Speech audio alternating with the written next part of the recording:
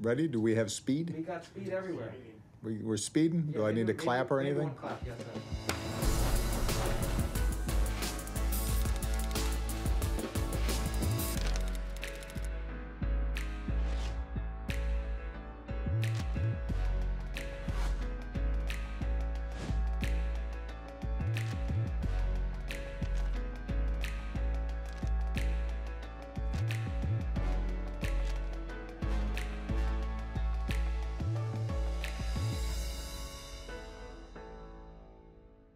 Hey, booktubers, this is Barack Obama.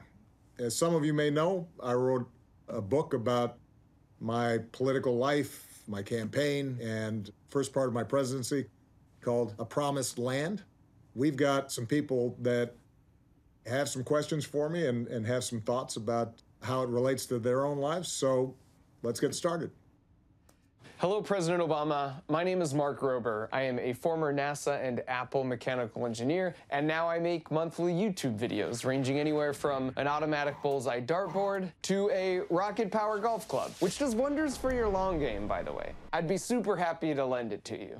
And off the top, I just want to mention that most of my nine years at NASA were during your administration. In fact, I spent seven years working on the Curiosity rover, and I remember when you called us from Air Force One to congratulate us on the successful landing. In your book, you talk about your fascination with space as a kid, and I can't imagine what it must have been like when you were eight years old during the moon landing, witnessing the first time a fellow human being left behind a footprint on something other than our planet. And I know so much of what I love about teaching science to the young folk is watching their world open up and encouraging them to think big. So I'm curious to hear about young Barack Obama's eight year old fascination with space and how that impacted you when you became President Barack Obama. Hey, Mark. First of all, I really want that rocket powered golf club, that driver, uh, because my drives have been a little bit short. Although Secret Service may want to investigate how safe it is. So that's point number one. Point number two thanks for your service at NASA. That rover was spectacular. It's great that you are part of it. I write about in the book. I lived in Hawaii till I was six years old, and the Apollo program was going on then. And the capsules would land in the middle Pacific and then get brought into Hawaii. And we were part of a crowd that was there to greet them. Me sitting on my grandfather's shoulders, waving a little American flag as one of the capsules were recovered and the astronauts you could see through the portal waving. You know, that's it's one of my favorite memories of my childhood because it uh, sparked in me that sense of anything being possible. That was part of my idea of America. When I was president, I had the chance to take Malia and Sasha to Cape Canaveral to see one of the launches of a space shuttle there. And to see my daughters listen to this woman who herself was one of the pioneers back in the 60s, wouldn't have had a chance to be an astronaut, who was now in charge of the launch. It, it was a matter of coming full circle and, and reminding me and them uh, of, uh, of what I think is best in this country. When we pull together, when we unify, when we're pulling talents from all different kinds of uh, people from all different walks of life, it's that optimism that uh, I think drove me even through some pretty difficult times during the presidency. I could trace my passion for science and creativity back to when I was just six years old. I remember my mom asking me to help prepare dinner by cutting some onions, and I went outside and grabbed our swim goggles to keep me from crying. And I just remember her laughing and getting out the camera and just making such a big deal about me trying to come up with a creative solution to this really common problem. And that moment made such an impression on me, and it just really motivated me to want to continue coming up with even more ideas. And as mentioned in your book, as president, you hosted the White House Science Fair. Seeing you engaged with those kids, fostering their interest in science and innovation, reminded me of that moment with my mom. You were the first president to institute the White House Science Fair. What was it about that symbolic gesture that was so important to you? Those science fairs I loved We got the idea because there was a long tradition of bringing championship athletic teams to the White House, and that's great. But you know, if all we're doing is celebrating athletes and we're not celebrating the amazing work that scientists and engineers and innovators are doing, then you know kids aren't going to see that for them to get passionate about. So we said, you know, let's let's uh, let's host a science fair. We'd have kids who weren't expected to be fascinated or engaged in science. Girls who so often were uh, finding themselves discouraged from pursuing, you know, STEM and math and science. Suddenly, they had a forum where they could see that uh, there's no one way that a scientist or an engineer has to look, that anybody can do it. And, and just some of the stuff was cool. When you were showing that little clip, a guy shot a, a marshmallow. this is great. That was one of my favorite moments uh, in the White House. Oh, let's go look at the marshmallow, see what happens. I think there may still be like a marshmallow mark somewhere on the wall in the, uh, the stateroom, but that's okay. It was worth it. My name is LaGuardia Cross, and this is where my journey began. As a new father, my wife and I both not really being sure how everything was gonna play out. But it's something we both wanted to start, and I had to document it because I knew it was gonna be funny. Girls, do you understand who's looking at us right now? Barack Obama. And what? What's Barack Obama? You don't know who Barack Obama is? No. What's Barack Obama? Not rock. No, I'm not gonna let them act like they haven't heard about you before. That's no. I, I have proof. Who is this? Your cousin, uncle. Okay, but for real, something that caught me was the promise that you made to yourself after Malia was born. That my kids would know me, that they grow up knowing my love for them, feeling that I had always put them first. The same way that you capture life in a book is uh, what I've really been trying to do with my life with them on YouTube. And so, since I'm only six years in, father to father, uh, what do I do to prepare for them uh, when they're teenagers? Like, I, I need all the help and I'm willing to receive any notes because whatever I do, I can say this is what Obama told me to do, and they, they should be able to respect that. LaGuardia, let me first of all just say you are in trouble, brother. Because if you've got two daughters who are already that cute, you are putty in their hands. They're already smarter than you, uh, and they're already thinking about how uh, they are going to play their dad. But I'll offer a, a, a few pieces of advice. First and foremost, uh, treat your wife right because they're going to be watching how you treat your wife. And if you treat her with love and respect, that's what they will expect when they're teenagers. They'll know not to be treated any differently than that. Point number two your daughters are going to have different temperaments. They may end up at some point shutting the door and only speaking in uh, uh, one syllable over dinner, and you can't take it personally. That's very hard to do because you know you're used to them cuddling you and loving you and all that, and then suddenly, sometimes, if they're not talking to you, uh, you feel hurt and spurned. But they come out of it. Of course, it may take five years before they come out of it, but they do eventually come out of it.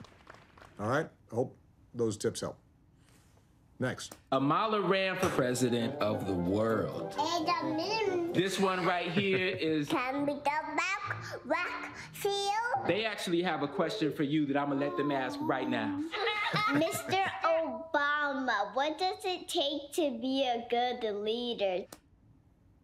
the most important thing uh, about being a good leader is treat everybody with kindness and respect and to listen to people. People want to be heard. And if people feel you're hearing them and you care about their ideas, they're more likely to want to work with you uh, and be your teammate. And you know, a lot of being a good leader really is just uh, figuring out uh, how you can get a team to work together. It's hard to do great things just by yourself. It's uh, better when you're working with others. That makes sense? Hope so. All right. Mr. President, my name is Marques Brownlee. I run a YouTube channel called MKBHD. And That's where I get to be a huge nerd, basically. I talk all kinds of tech products, review tech. I started my YouTube channel in 2009, so a year after your inauguration, which I was at, by the way. And uh, I also happen to be a professional ultimate frisbee player, an avid golfer, and a pretty big NBA basketball fan. A lot of the worlds that I run in haven't been incredibly diverse, right? I mentioned golf, ultimate frisbee, technology. And what I can say is at a, at a youth level, and I think at a lot of the beginner levels, these spaces are more diverse than ever, which is awesome. But you'll notice at a high level, ultimate frisbee, golf, technology, not very diverse. And I feel like that makes the spotlight just a little bit hotter as a black man moving through these spaces. So, from your book, it's clear that you've felt that spotlight over time as well. So, that got me super curious. Just how did that make you feel? Thanks, Marques. Unbelievable hops uh, on that clip of you in, in uh, Ultimate Frisbee. You're absolutely right. I, I, I write about the fact that there were occasions where I would have to deal with expectations or stereotypes or attitudes that perhaps uh, if I had been white, uh, I would not have had to deal with. Not just me, but a lot of the African Americans or Hispanics, Asian Americans, or in some cases women, were the first in their positions in my administration. All of them had to navigate spaces where traditionally there hadn't been a lot of folks who looked like them in those situations. And it is a extra burden. Uh, but uh, my attitude always was that it was also a privilege to be in these environments where you can actually help these spaces where you're one of the firsts um, to, to do better and build a better culture. All right? Hello, President Obama. I am Denise. And I'm her wife, Ebony. This is our family, and we are Team Two Moms.